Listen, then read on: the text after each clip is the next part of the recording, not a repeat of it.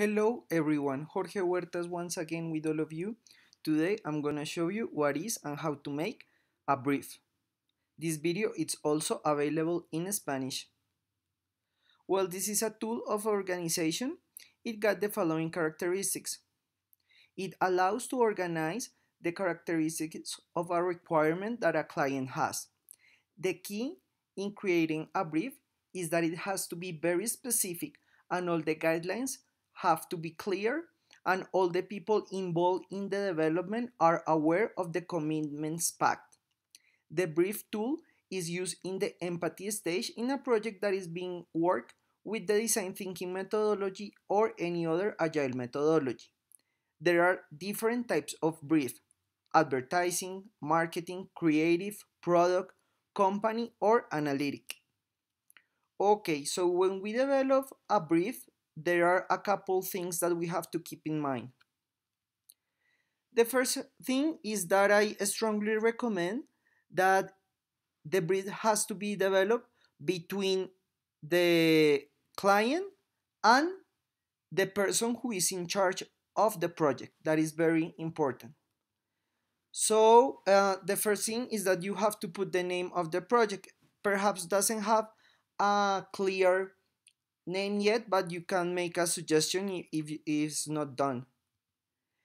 Then describe the situation. It means put in context of how this developed coming from and what is the context that all the people involved involved in the project uh, know.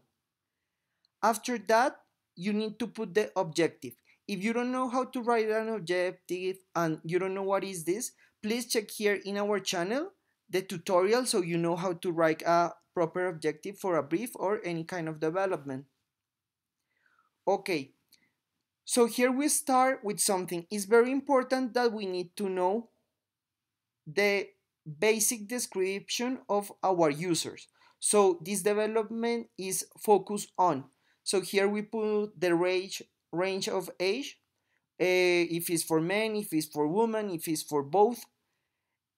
If we have an economic partner, we need to put it in because maybe it's not a develop just for one company, could be two, three, or many more. Also very important to keep in mind the context on which this development will be uh, created. So if we need to put a, a specific characteristic in the cultural background, we put it in here. After that, we choose which kind of development are we going to make. So this is a development in advertising. This is a development of a product or service. Is this a creative um, development? It means that we need to create a concept. If this a enterprise or if it's a marketing promotion uh, development. After that, here we pick just one it's very important to know in which status is the development because sometimes you don't uh, start from the beginning but you start from a checkpoint from the middle maybe there's something previously done.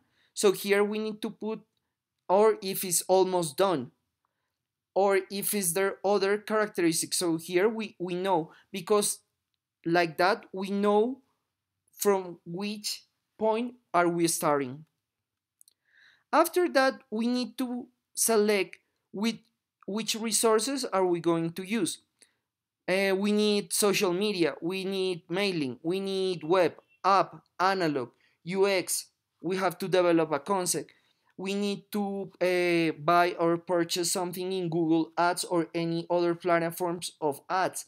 We need holograms. We need um, augmented reality which kinds of resources? So here we can have one or we can have many. It's very important that we keep that in mind so we know what resources we need. And it's very important that we know that from the beginning. After that we need to have the scope of the development. It means that we need to know what is the purpose of this development if it's for already to implement, it is for a conceptualization, it is just a final art, it is a follow up with something that we are creating, it, it is a redone or a redesign from a previous development, it is from a campaign of expectation, it is from a launching of a product, it is for merchandising, it is just a printed uh, development that we have, or it is a presentation for a customer to a specific development.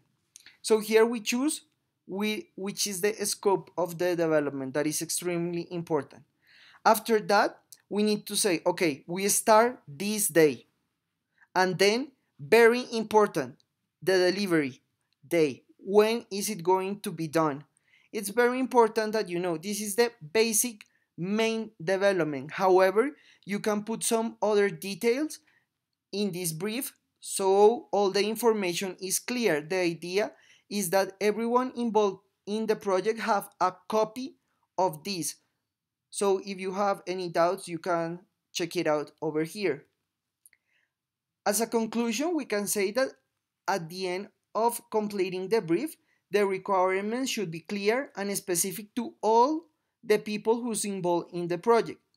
Time must be negotiated proportionally to the complexity of the development and the occupation of the people involved in the process. So that's very important because if I say that I'm gonna deliver a specific day, I have to do the best that I can to fulfill that expectation. The key to develop a good brief is to be specific in what you want, for whom it is intended, and how you want it. So it will be very clear and specific. Thank you so much. I hope this video will be a big help in your development. Please subscribe to our channel, Design Thinking 24-7. Follow us on social media, Facebook, Twitter, Instagram. Remember, every Monday we have a new video in Spanish. Every Thursday we have a new video in English. Thank you to all of you um, because of you, we are the number one design thinking and innovation channel in the whole YouTube universe. Thank you so much, and we'll see you next time.